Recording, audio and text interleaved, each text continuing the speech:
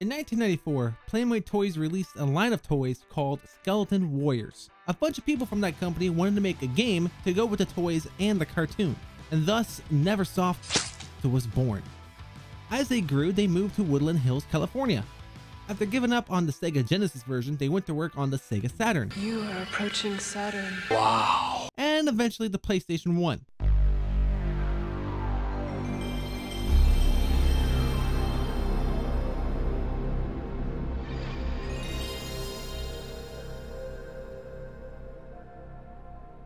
Where Skeleton Warriors would finally release in 1996.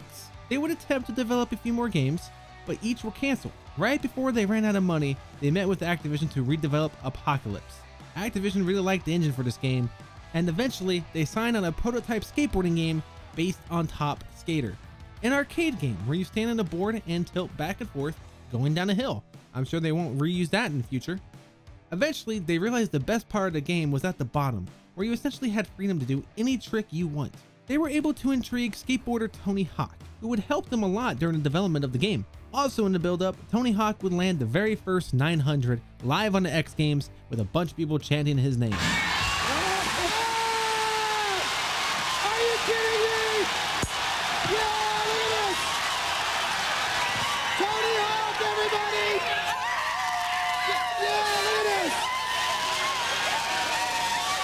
Skateboarding was as popular as it has ever been, but everything was about to be even bigger. September 29th, 1999, Tony Hawk's Pro Skater would release. The expectations were to be for skaters.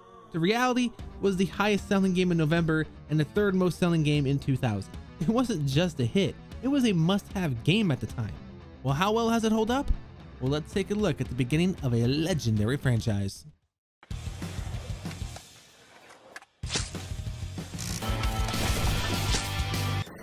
Right from the start, we get the companies that made the game.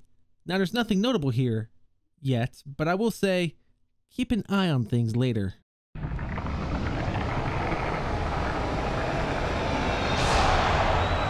We get a skating montage to hype us up and hype us up it does. We see all the skaters in the game with Police Truck by the Dead Kennedys as the song.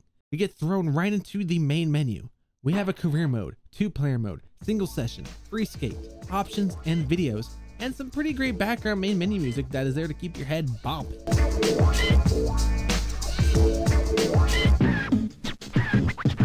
Now, most levels are locked until you play them in career mode, so let's just get right into career mode. First thing you do is pick your skater. Every skater here starts with their own stats and specials, but by the end of it, the stats will probably be the same.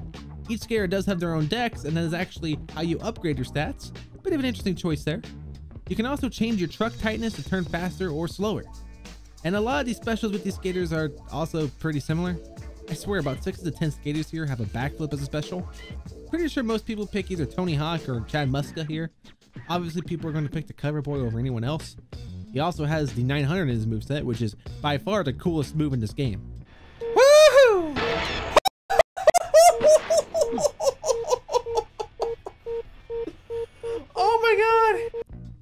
As for Chad Muska, he looks cool. Really the only reason? This dude personifies the late 90s and early 2000s. You load up Warehouse, the only one of the nine levels you get to start off with. You load up to see your objectives. You might not know what all this means yet, so you press X to determine to learn and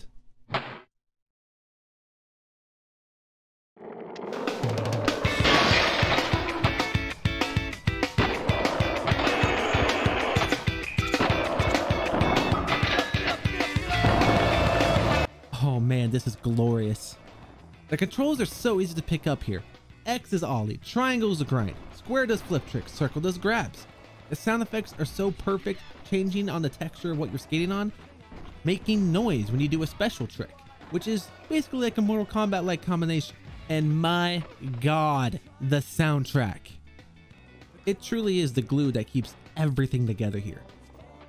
This game's soundtrack is essentially what you would hear if you were to go through a skater CD collection. It fits everything so well.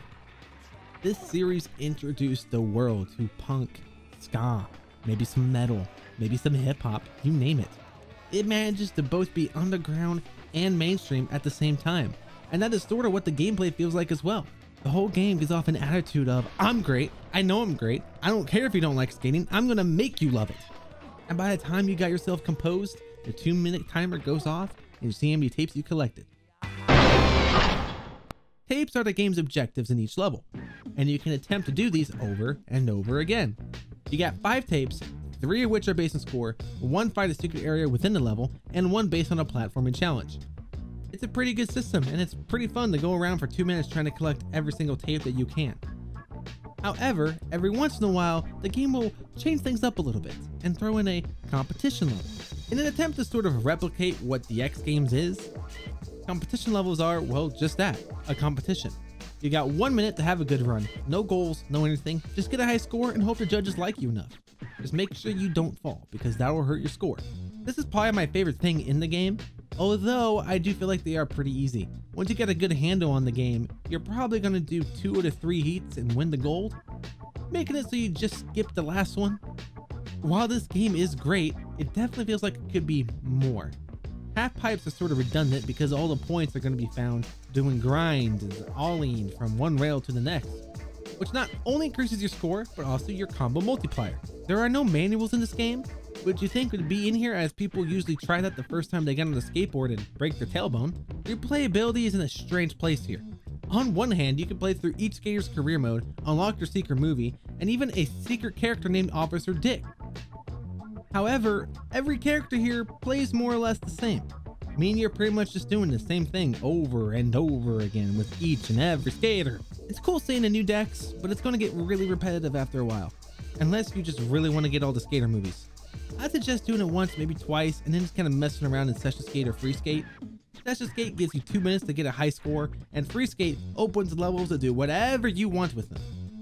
Now, if you got a friend, you can do a two-player mode, but I'm unsure how many people still have two PlayStation 1 controllers laying around, or PlayStation 1s in general. The reason anyone would ever keep coming back to this game nowadays is probably nostalgia, but back in the day, it was the amazing and responsive control system mixed with the amazing levels, minus the downhill jam.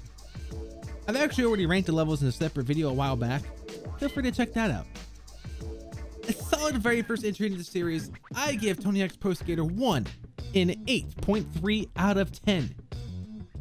This game set the foundation for not only the future of the series, the future of skateboarding, it really rose the popularity of skateboarding really by itself, but it just changed everything in the video game world. Overnight, Tony Hawk was a household name.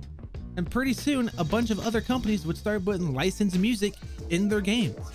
And yes, there's some shortcomings, especially because this game is very street skating focused when the guy on the cover is a vert skater, but that's okay because this game's control system is so good.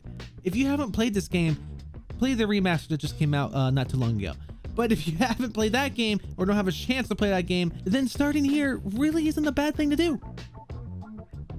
Thank you for watching. Like the video if you haven't already. Subscribe for more content. Comment down below and check the description for links such as the Discord.